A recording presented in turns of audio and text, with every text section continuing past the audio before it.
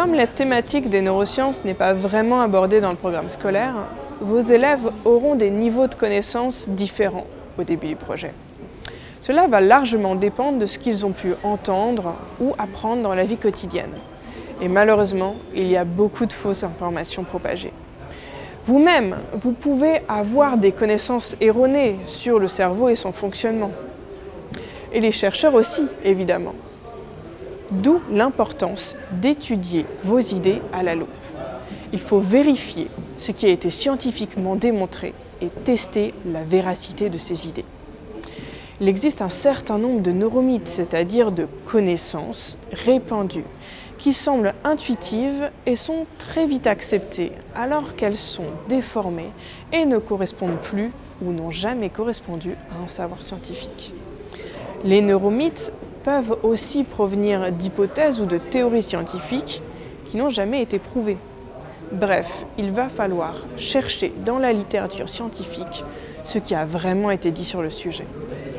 Quand un chercheur s'intéresse à un domaine pour lequel il n'a pas spécialement d'expertise, la première chose qu'il doit faire est d'identifier le vocabulaire précis utilisé par ses pairs pour décrire le phénomène qui l'intéresse. Par exemple, si à l'école on parle souvent de la concentration des élèves, en laboratoire, on étudie essentiellement l'attention.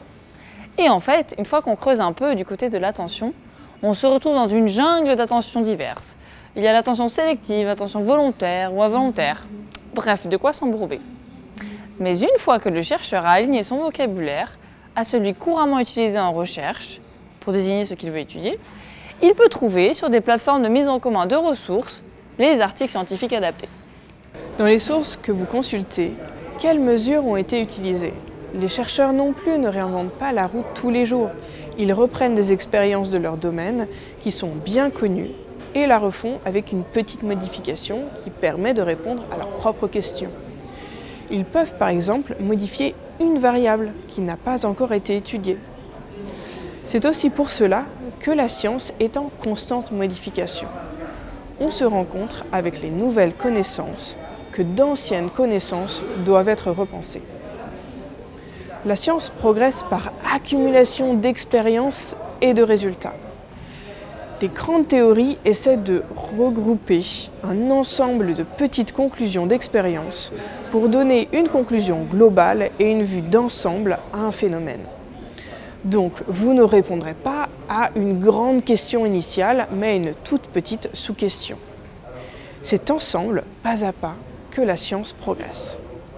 Il y a tellement de connaissances à prendre en compte qu'à ce jour, les chercheurs reviennent sur la littérature pour faire des méta-analyses, c'est-à-dire qu'ils font l'analyse des études qui ont été menées sur une question, pour voir s'il y a un effet stable qui serait présent partout.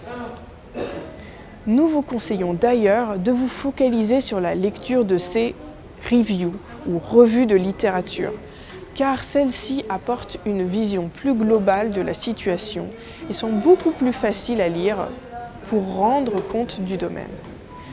C'est en général ce que fera un chercheur quand il voudra s'attaquer à un nouveau domaine d'étude.